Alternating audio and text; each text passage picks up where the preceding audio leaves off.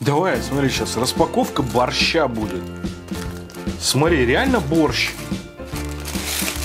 Вот реально борщ. А нам доставка от вас приехала. Тут немножко напутали с заказом.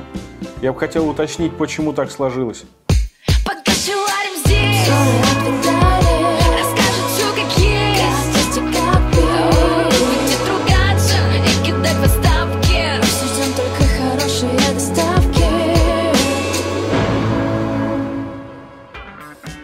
Всем привет! Воскресенье, обзор. Давайте, заваривайте чаек, делайте себе яичницу, отваривайте пельмени, дошек мутите. И давайте с вами на полчасика, на 40 минут, не знаю, как получится, уйдем э, в обзор какой-нибудь еды. Сегодня вообще очень странно все. Перед съемкой обзора я всегда делаю несколько вещей. Это залезаю в Google, пишу доставка, что-нибудь попадается интересное.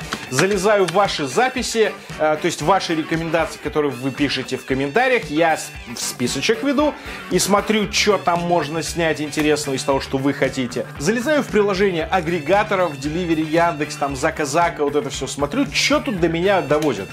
И такой листаю, по-моему, Яндекс или Delivery, неважно, короче, листаю, листаю, раз мне попадается, и думаю, «Ч, интересно, донер-бургер какой-то. И я такой, дай сделаю заказ, дай сделаю заказ, интересно. Заказываю себе еду, а там шаурма, хот-доги у них есть, борщ и типа все. Я такой, ну ладно, блин, уже сделал заказ, отправлю его, все, отправил заказ, пошел смотреть, что за донер, а, за донер бургер. И получается, это, это вообще неинтересная тема, это просто шаурмичная. Это кафеха, знаешь, где находится? Это просто кафеха, которая вот я в гугле нашел, на улице Плеханова находится. Но тем не менее, у них 4,5 звезды по отзывам. Не знаю, куплены или не куплены. Короче, сегодня обзорище, но снимаем мы по факту просто обзор на какую-то шаурмичную на Плеханова. Но они есть почему-то в Яндекс Еде или Деливере. У них есть доставка, блин, ч- у меня просто мозг разрывается. В общем, заказали, ждем.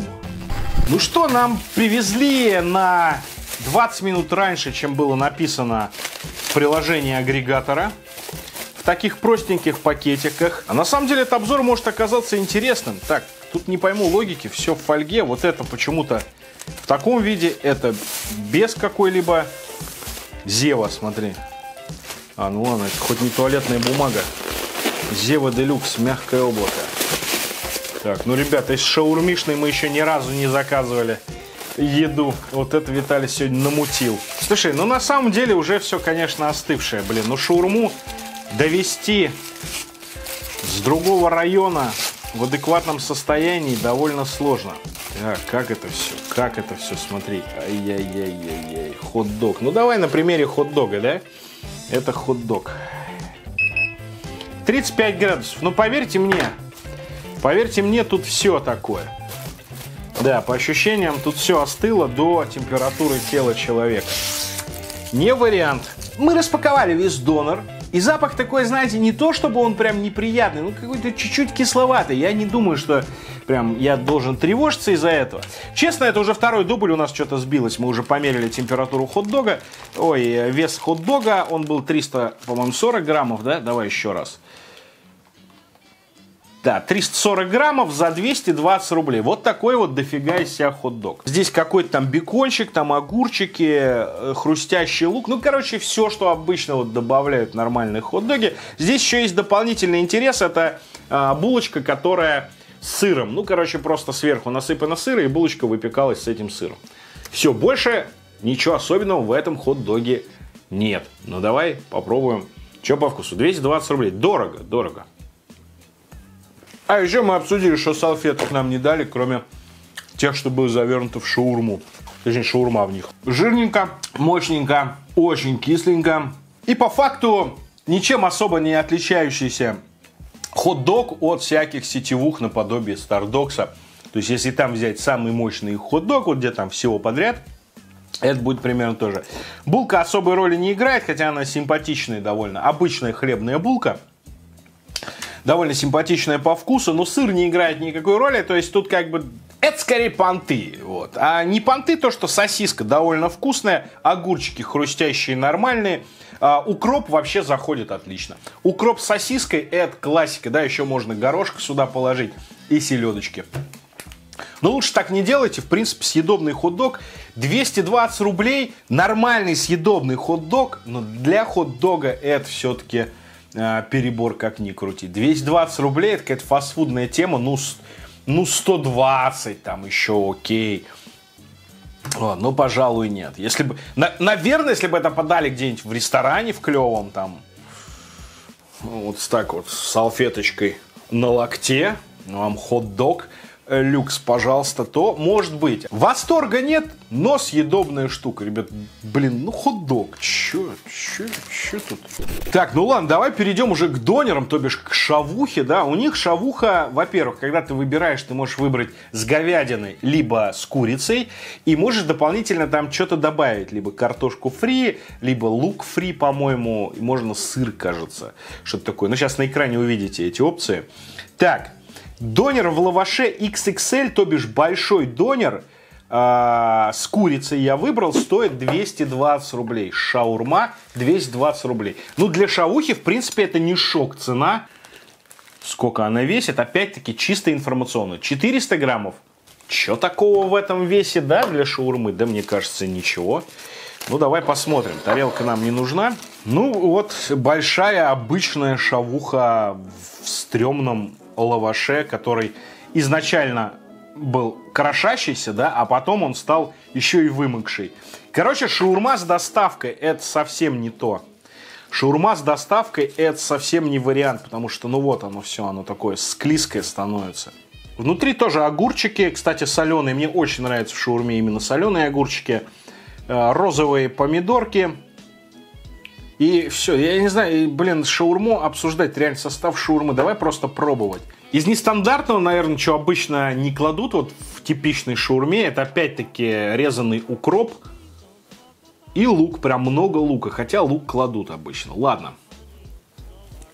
Какого хрена он острый? Он реально острый. Этого не было заявлено.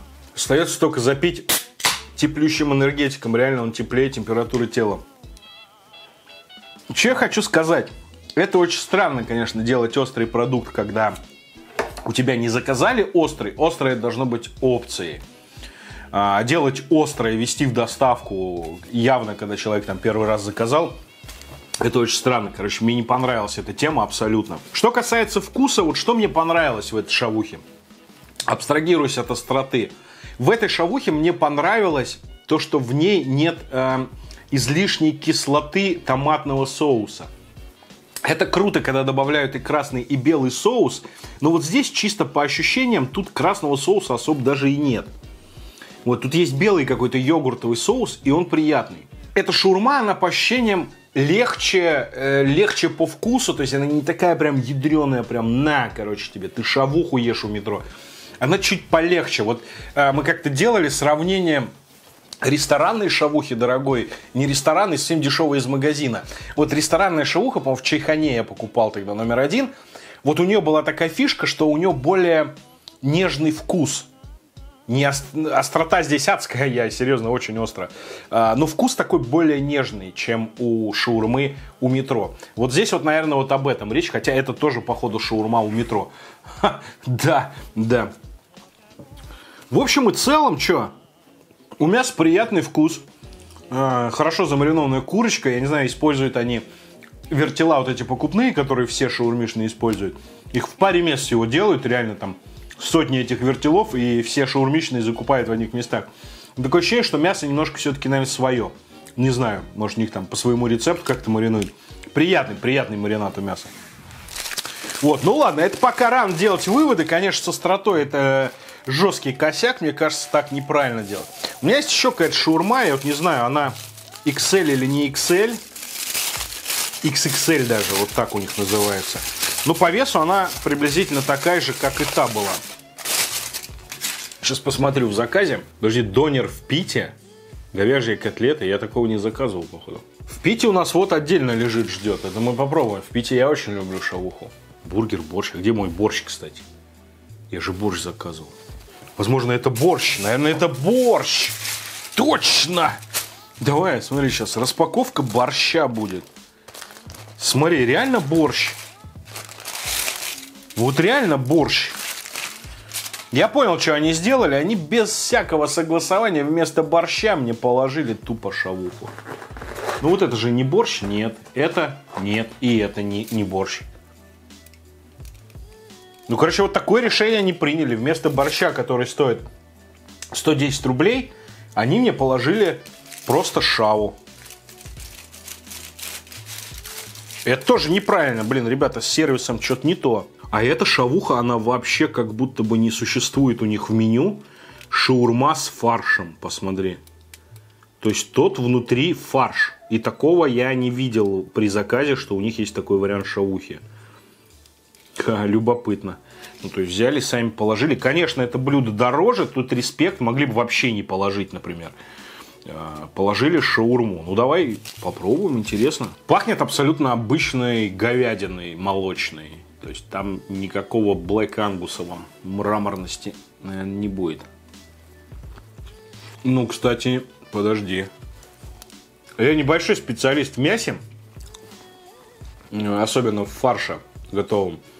Но вот у говядины зернового от корма, да, который продают там стейки, делают нормальные, э, у него какой-то ос- особенный вкус. Вот этот вкус чувствуется. И вот здесь вот как будто бы он. Кстати, обычный донер. А вот граммы, подожди. Граммы-то есть. Я нашел, то есть я сначала почему-то не видел эти граммы. 530 граммов должна большая была шауха весить. Явно та большая с курицей, как я и заказывал, а весила 430, недовес 100 граммов. Вот это, видимо, обычная шавуха. Она 390, а стоит 190 рублей. И тут прям на, на фотографии вес. Ну, видимо, это просто донер в лаваше. Именно вот он у них так и называется, с фаршем, понимаешь?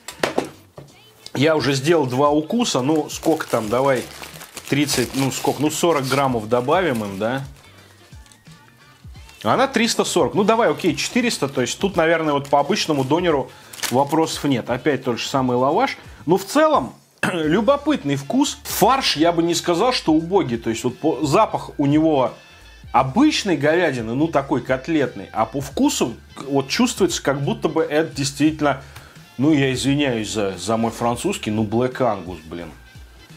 Это очень странно. Это очень странно, но вкус приятный. То есть вот это мне скорее понравилось. Понравилось, да. Ну, если, я не знаю, какая-то совершенно случайно, это шаурмичная, может быть, наткнется на этот обзор, напишите, ребят, в комментах, что за мясо вы используете. Я, потому что могу ошибаться, хотя мы проверим, еще у нас есть отдельно котлеты. Мы это проверим. Ладно, давай, у нас шавуха в Пите. Вот это мне нравится, шавуха в Пите, эта тема. Так, должен весить 355 граммов, а весит он 250. Капец, просто адские недовесы. 190 рублей весит. Ну нафига вот это заявлять? 355 грамм. Вот, в Пите. Ну, Пита обычная абсолютно такая шаурмичная, то есть не как в Сахаре мы видели вот эти офигенные лепешки. Как жалко, что Сахара сгорела, блин. Боже мой. Ну все, блин, видишь, все. Вот это вот доставка шаурмы, блин. Никогда не делайте доставку шаурмы, пожалуйста. Потому что происходят вот такие вот эпики. Ну что, смотри, у нас вот в Пите, значит, э, вот такая структура шавухи. В этом углу у нас лежит мясо, дальше овощи. Все, то есть ты половину ешь пирожок с овощами, половину пирожок с мясом. Ну, понимаете, да, то есть выложено нелогично. Должно быть, что ты кусаешь, у тебя тут и мясо, и овощи попадаются. Здесь кусаешь мясо и овощи. В общем, теория шавы от покашеварим. Это я ващичек сейчас рубанул. Средняя статистическая шауха, короче. Обычно, если я покупаю шавуху, я не так часто это делаю. И есть вариант выбрать в лаваше или в пите, я всегда беру в пите. Мне почему-то приятнее есть в пите. И обычная шавуха становится чуть из-за этого вкуснее. В данном случае обычная шавуха не стала вкуснее, потому что пита из-за доставки, она перестала быть питой, перестала приносить удовольствие. Плюс она перестала выполнять функцию удержания начинки внутри себя, вываливаясь, понимаете, вот это все. Это неприятно, но повторюсь, вот в этом месте довольно симпатичный вкус мяса. Мне нравится вкус мяса, который я ем. И фарш мне понравился, и вот это мне понравилось. Но в целом в этой шавухе вот эти вот э, листья, да, вот эта куча капусты. А капуста, понимаешь, она, ты ее положил туда соусы, там соленые огурцы, капуста сок начала давать. Она, она превращается в слюни, реально она маринуется, пока доезжается. И непотребство. То есть с доставкой это невозможно. На месте, если есть, то да, пожалуй, можно. Я бы заказал съесть. Эй. Капец, я знал, что будет странный обзор, блин, ну нафига, ну, ну я уже оплатил, понимаете, я сделал заказ такой, ну, рукой махнул, и Apple Pay нажал уже, все. Я что должен делать, ребят? Я не знаю, как там отменяются у них эти заказы. В общем, у нас шавухи закончились, у нас закончились э, даже хот-доги один для обзора. У нас еще бургеры и что-то там на второе. Я без восторгов, я не знаю, что, как вы отнесетесь к этому обзору сейчас задизлайкайте меня, безусловно. Я без восторгов, но сказать, что это плохое место, я не могу. Это просто, ну, шаурмичное, которое, ну, делает вроде неплохо. Вроде неплохо. Прям вау-эффекта никакого нет. Я говорю, у меня вау-эффект был от э, э, ресторана «Сахара». Мы снимали обзор, можете пересмотреть. Э, был эффект, во-первых, и от этого всего антуража какого-то такого вообще нетипично хай-тековского ресторанного минимализма, а просто ковры какие-то. Э, шаурма, мясо, я видел эти вертела с аппетитным мясом. Классная лепешка, которую явно сами готовят. Не вот эта вот пита покупная. Она тоже нормальная, но тем не менее. То есть вот там вот был какой-то такой вау-эффект, типа, прикольно. Может быть, там даже, на самом деле, там мясо было хуже по вкусу, там соусы, может быть, были хуже даже, чем здесь. Но в целом, как бы, были ощущения, что, блин, прикольно. Мне понравилось, я готов вам советовать. Жалко, что сгорело. Вот. А здесь такого эффекта нет. Ну, типа, да, нормально, качественная шауха. Как бы хуже бывает, бывает. Лучше бывает, да бывает, елки-палки. Я несколько адресов знаю. А, ну вам не скажу, поняли. Ладно, давай, у нас еще два бургера. То есть эти ребята еще и бургеры делают. Вот здесь-то мы и оценим их фарш, а, который я подозреваю, что прям вот действительно все-таки он Black Angus.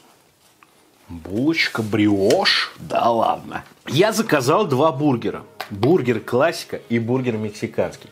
385 э, граммов и 375. Как-то по весу они приблизительно одинаковые, да, но коробочки у этого маленькая, у этого более вольготная. Как понять, какой из них какой, я не знаю. Ну вот это мексиканский, блин, ну вот это салат, вот смотрите. Блядь, ну кладите, ну серьезно, ну положите вы айсберг. Ну вот к чему вот эти, вот все. То есть ну, они положили на горячую котлету салат, и он сварился. Вот нахрена он здесь нужен. Вот это мексиканский, потому что там халапеньо. Тут же ни у кого фантазии нет, тут просто тупо добавит халапеньо, назовут мексиканский. И это бургер классика. Это бургер классика. Давай по весу просто сравним, раз уж они заявляют все-таки вес. Мексиканский 385 граммов должен весить. Дим, ты видишь что-нибудь? Я не вижу. 315. Ну, опять недовес. Давай. Вот этот 375.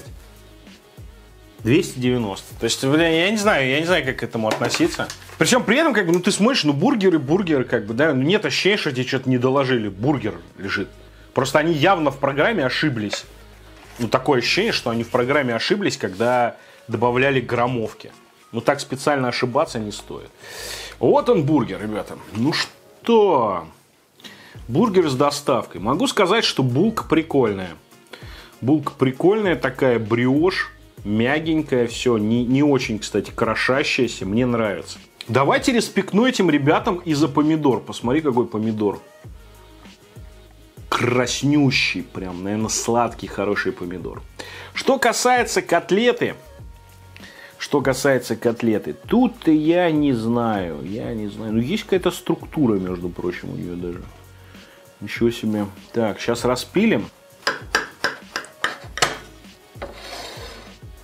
Оба-на. Опять тот же самый, кстати, соус, который, блин, все, все разваливается. Вот нифига в доставке, это не хорошая идея. Давай вот это посмотрим. Тот же самый соус, что был в хот-доге, вот этот горчичный, да?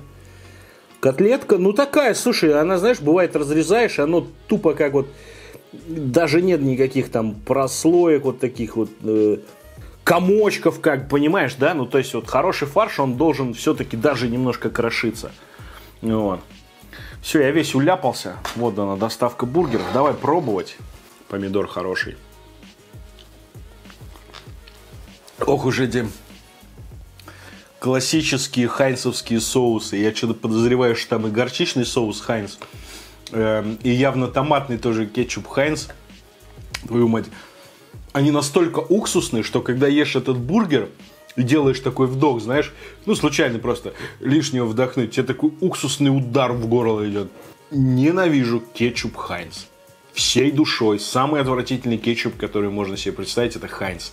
Остальные соусы по-разному. Некоторые мне нравятся, некоторые нет. Но в данном случае тут двойной уксусный удар, очень кислые соусы. Абсолютно слюнявый салат. Омерзительно неприятные не в тему сюда не подходящие никак свежие огурцы. При этом хорошая булка и неплохая котлета. Я серьезно, это я сейчас сказал, ну серьезно. Здесь действительно неплохая котлета, и здесь действительно неплохая вкусная булочка бриош. Блин, только очень пресная. Вот когда отдельно съел, очень пресная. Это ешь все вместе, тебе уксус не дает возможности это осознать. Слушай, нормальное, блин, при, нормальное мясо, серьезно. Нормальная, приятная говяжка. Но остальное? Как так? Как так? Лебедь, рак и щука.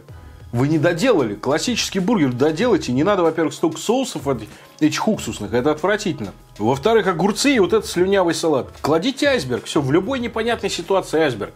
Бургер а, мексиканский. Блин, вот так вот смотрю на котлету и вроде перестает впечатлять. Но в то же время и особо и не расстраивает. Котлета как котлета, блин. Вот это они напихали сюда. Ну, в общем, Вся мексиканистость этого бургера заключается в добавлении маринованного перца. Опять свежий огурец, блин. Опять слюнявый салат. Конечно, все то же самое. Абсолютно то же самое. Я не очень понимаю, чем этот бургер выделится, кроме остроты. Я сейчас ожидаю ту же самую уксусную уксусную ядреность. Он еще сверху какой-то красный соус, наверное, он меня еще дополнительно добьет. Приходится переворачивать, потому что нижняя булка, конечно, вымокает. Мы в конце еще отзывы почитаем на гугле. Там что-то типа 40 отзывов на них. Мне даже интересно, прямо в конце будет рубрика такая. Будем читать отзывы, что люди пишут. Насколько их мнение сходится с моим. Короче, абсолютно та же тема плюс остро. Слюнявый салат, неподходящие свежие огурцы – уксусные соусы и плюс острота. Все то же самое. Нет. Нет, нет и нет. Нельзя так делать бургеры. Но при этом, давайте скажу крамольную вещь. Наверное, это, эти бургеры не хуже бургеров в 90% бургерных. И даже вот прям тех, кто специализируется на бургерах. Здесь абсолютно нормальное мясо, здесь абсолютно нормальные булки, но просто они не придумали вкусные соусы, они не подумали над разнообразием э, подачи этих бургеров. Вот и вся история. Поэтому у них это очень банально, но неплохо. Донер-бургер. Удивительно. Пожалуй, бургеры у них даже поинтереснее, чем шаурма. Шаурма... Да нет, и шаурма банально, и это банально. Но, но сильного негатива нет. И у них еще подают вот такие штуки. То есть те же яйца только в профиль, вот подают котлеты, например, с чем-то там, с какими-то овощичками, да, и подают, например, вот так вот. Бекон с сосисонами. Те же самые, очевидно, которые были и в хот-догах. Вот. Вот такие блюда стоят... Да, опять...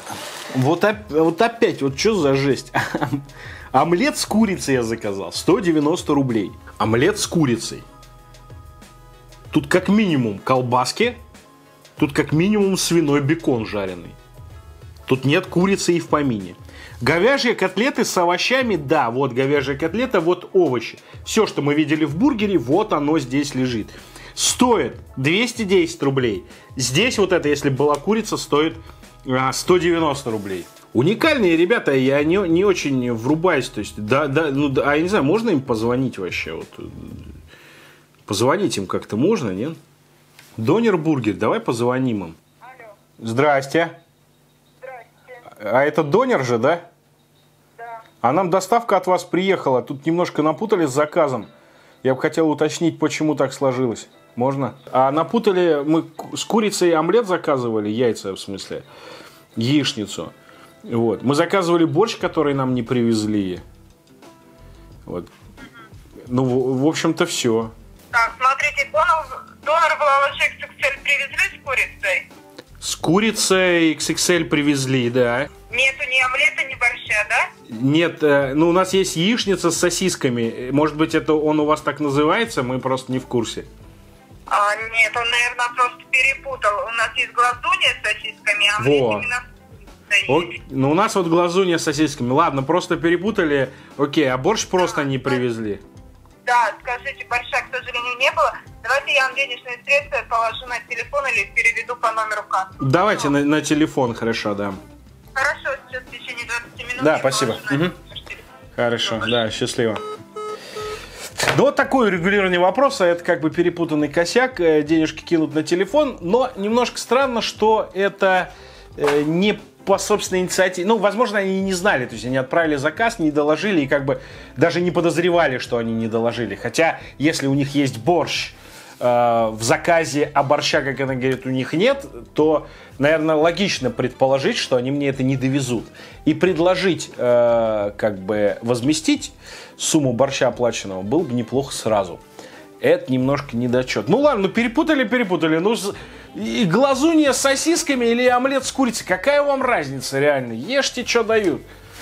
Вот, ладно, мы это тут глазуни и глазуни сейчас обсудим. А что, вилочки какой-нибудь? Нет? Да нет, что, салфетка нет и вилка, и вилки нет, конечно же. Ну ладно, давай, ну смотри, 190 рублей. Я думаю, что это примерно столько же стоит. Два сосисона, поджаренный бекончик. Ну, он, конечно, уже не хрустящий, поэтому он не столь приятен мог бы быть, как хрустящий бекон. Вот. И вообще было бы неплохо, если бы они его мельче порезали, чтобы я мог вместе с яичницей это съесть. Вымокший картофель фри. Тот самый помидорчик красный, который, на удивление, имеет вкус. Вот он. Вот. И глазунья. Глазунья вот так вот поджарена, видите, вот, да. Я дома жарю так, чтобы не было вот темного прям, да. Мне нравится на медленной температурке. Но это фастфуд, кафе, там надо быстро. Поэтому здесь вот такие вот, ну, пережаренные как бы яйца. Но тем не менее, смотри, глазунья, да, то есть они не, не переборщили с, э, с прожаркой. Желточек остался. Желточек остался желтеньким, все как надо. Не солено. Не соленая глазунья. Я люблю посолить. Значит, что? Было бы классно иметь маленький пакетик соли. Дешевенький самый, вообще любой абсолютно. Маленький пакетик соли меня бы удовлетворил. Сосисон. Честная такая еда. Че- честная еда. Особых претензий нет, но помимо того, что это вот с доставки приехала э, в таком стрёмном виде, картошка вот эта вся, то в целом и сосисончики, и омлетик, вот эта вот яишенка, она вполне нормальная, то есть это можно съесть. Ну Вот. В общем, если вы там где-то живете, в районе заходите, то, наверное, да. Вот. Но вот эта вот штука у нас тут что? Опять эти свежие огурцы, блин. Такое ощущение, что им просто их девать некуда. Они поэтому их везде пихают. Но вот смотри, они, они блин, слюнявые уже. Хотя вот что они здесь заслюнявились, непонятно. То есть тут вроде соли-то нет, ни в помидоре, нигде. Но, тем не менее, они такие уже. Помидоры хорошие, прям зачет, ребят, спасибо за помидоры, очень порадовали. И вот они, эти котлеты. Те же самые котлеты, что в бургере. А, они уже подостыли, естественно, да, они и приехали не сильно гретые.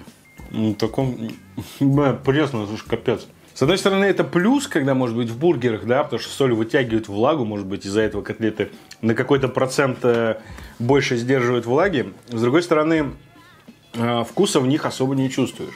Вот, например, фарш, который был в шаурме, э, там был приятный вкус фарша. Я очевидно, что это он же. Я прям вангую, что это тот же самый фарш. Но он был там приятнее, видимо, потому что там соусы, там что-то солененькое, и вот это все усиливало вкус мяса. Вот когда ты ешь отдельно эту котлету, это капец, это убожество, серьезно.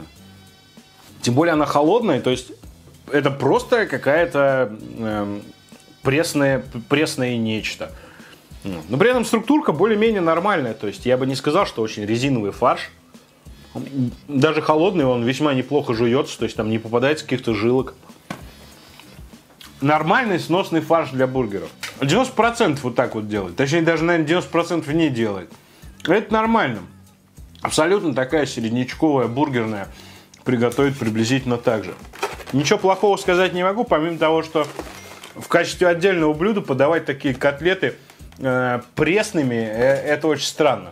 Это очень странно.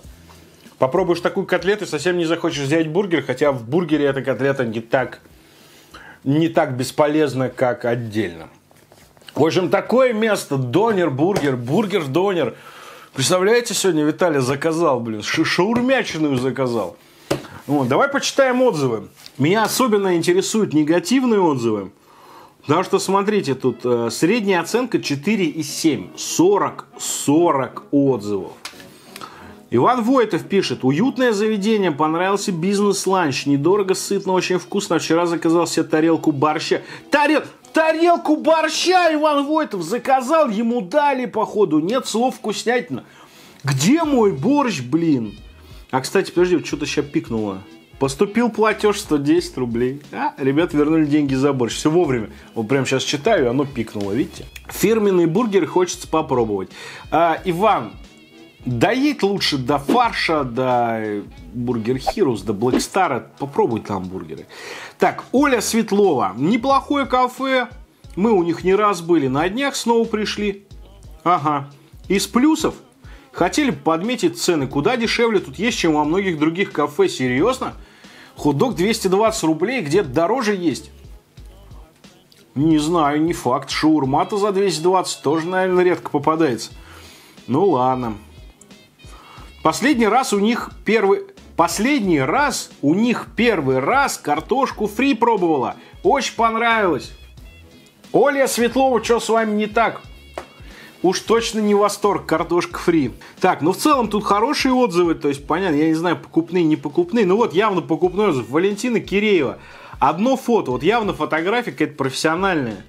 Сами же и писали. Как-то случайно дочь попросила зайти в респект 5 баллов.